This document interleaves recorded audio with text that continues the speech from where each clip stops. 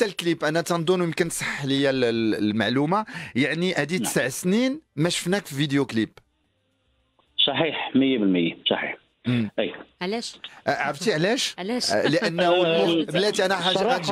أنا غنجاوبك مروان إيه. خوري لأن المخرجة امرأة وباش توصل له الإحساس ويوصلنا به كان اختار المرأة هي اللي قامت بالإخراج صحيح أو لا؟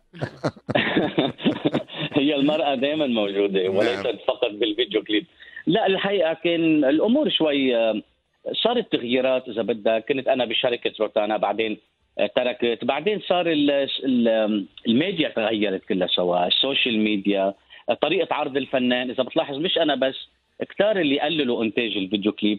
وأنا من الأساس مني كتير آه، أنتجت فيديو كليبات. كانت على القد وفيديو كليبات كانت بس أنا برأيي كانت لا تساعد ال audio. يعني دائما كان عندي إيمان إنه ال audio هو أهم من الصورة. نعم. يعني اللحن والكلام هن الأهم وهن اللي بيبقوا. الفيديو هو لمساعدة ال audio. ولكن هيدي فكرة معينة وراحت الأيام وأنا أنا كنت كل فيديو كليباتي مع شقيقي كلود خوري هو اللي قال لي آه، أخرج لي آه، آه، قصر الشوق كل القصايد مجموعة كبيرة.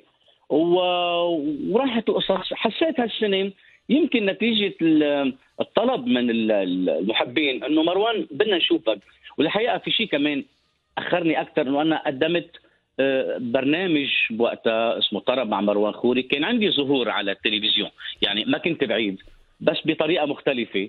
آه، هذا هو السؤال اللي كانت غطرحها لك كريمه يعني على البرنامج. طرب و- والزمن الجميل. آه، كان عندها سؤال على هذا البرنامج. okay تفضل مروان.